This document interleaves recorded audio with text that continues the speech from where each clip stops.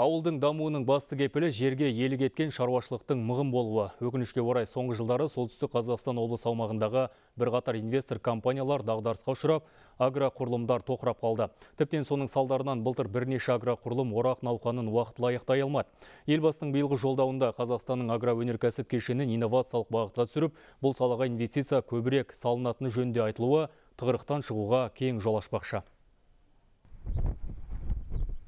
Айымжан солтүстік Қазақстандағы іргелі ауылдардың бірі. Өздеріне тиесілі 7 мың гектардан астам егістік алқап бар. Бірақ елді мекеннің шаруашылығы шатқаяқтап қалды. Себеп инвестор компанияның дағдарысқа ұшырауы.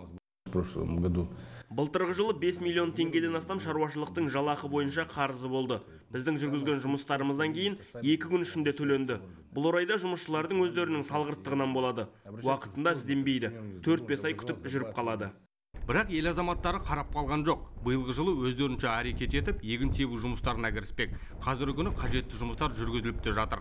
тұқым салып қойдық 500 тоннадан артығырақ Ә, сосын енді мына тракторный паркті тракторный машина паркті енді ә, күн жылғаннан кішкене мотоманы ашып соны жөндеуге кірісеміз сол ойымыз енді биыл өзіміз осы хозяйство өзіміздің хозяйство елі болып биылғы енді жеріміз көп емес алты мыңға жақын соның төрт мыңын егеміз берген жоспарымыз бар Айымжан кезінде шаруашылығы шалқыған, тұрмысы түлеген, абыройы асқақтаған маңдайалды ауылдардың бірі болған. Сонау бір жылдары мыңғырған мал өргізіп, атақ даңқы шетел асып кеткені де шындық. Ел азаматтарда шеттерінен ұйымшыл. Сондықтан да ауылдың қайда түлеп, аяғынан ноқтырып кететініне жұрттың сенімі мол.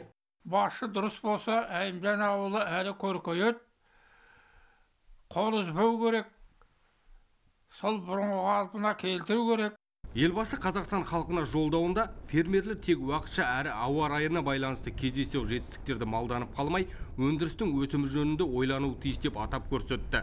Сондықтан шағын шаруашылықтардан құлдырап кетпей, көтерілуіне мемлекет тарапынан қолдау көрсетілуі тиіс дейді мамандар. Саңдық Сәбитұлы, Төлеген Бейсенбаев, ұлттық арна, солтүстік Қазақстан.